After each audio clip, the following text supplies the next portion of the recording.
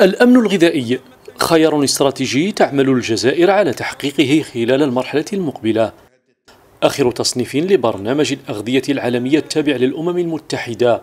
وضع الجزائر ضمن ريادة الترتيب إفريقيا في الأمن الغذائي ما يعكس الجهود التي بذلت لتطوير هذا المجال.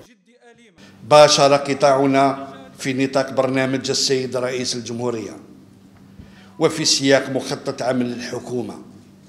في تنفيذ ورقة الطريق لفترة 2020-2024 نرمي من خلالها وبدرجة أولى إلى تلبية الاحتياجات الوطنية من خلال العرض الفلاحي ورفع المساهمة في النمو وتنويع المنتجات وتقليص واردتنا وتوفير منافذ للأسواق الدولية عبر تعزيز الصادرات.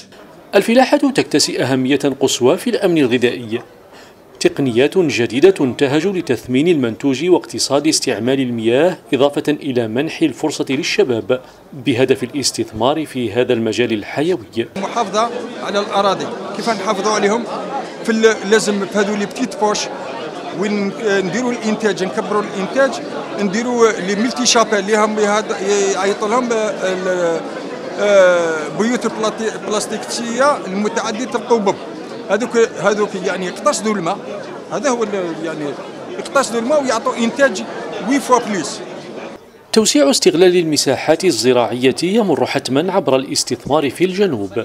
فشساعة الأراضي تمنح الفرصة لتطوير الفلاحة مع اتباع التقنيات الحديثة لضمان وفرة المنتوج. بالطبع هم الشباب يعني بالأولوية للشباب لأنه هم أراضي فلاحية آه، شاسعة آه، تنتظر تنتظر فقط يعني نقولوا القدوم تاع الفلاحين الصغار هذم. وحنا رانا يعني كمعهد تقني لتنمية الزراعة الصحراوية الهدف نتاعنا هو الهدف الأول هو المرافقة التقنية للفلاحين. تنمية الإنتاج الفلاحي من خلال توسيع المساحات المسقية ورفع مستويات المردودية. كلها عوامل لبلوغ الأمن الغذائي الذي يعد أحد مقومات تحقيق السيادة الوطنية.